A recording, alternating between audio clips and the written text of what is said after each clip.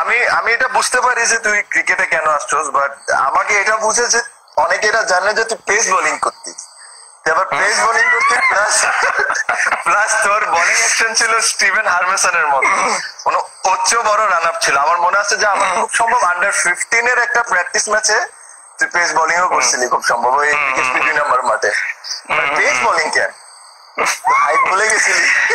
না না না ওই জন্য না আমার না এটা একটা না, আমি আমি বোলিংও পারতাম এমনি নর্মালি ছোটবেলায় আর কি বোলিংও করতাম। তো তখন তো আসলে ছোটবেলায় মানুষের যতটুকু হাইট থাকে ঠিক ততটুকুই ছিল। তো তখন চেষ্টা করতাম যত দিক থেকে কন্ট্রিবিউট করা যায়। আর তখন তো কিপিং আসলে ওরকম করে করতাম না। But all of a sudden একটা আইডিয়া হয় ওটার পর থেকে আমি কিপিং আসলে স্টার্ট করি। একটা ম্যাচে হঠাৎ করে আমাদের যে মেইন কিপার ছিল ইনজুরি হয়ে যায় দেন কেউ করতে চায় না পরে আমি করি।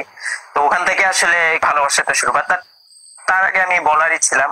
বাট এটা ইন্টারেস্টিং যে যেটা বললে যে এই হাইটে পেস বলা এটা আসলে খুবই রেয়ার আর আমি যখন বিএসসিতে ভর্তি পরীক্ষা দেওয়ার সময় অনেক সময় করতে যাচ্ছিলাম তখন স্যাররাও দেখে বলতে যে এই হাইটে পেস বলা পাগল নাকি তুমি? তুমি যেটা করতেছো ওই দুইটাই করো ব্যাটিং আর কিছু হ্যাঁ। আচ্ছা আমার কিছু কোশ্চেন আছে আমি বলি।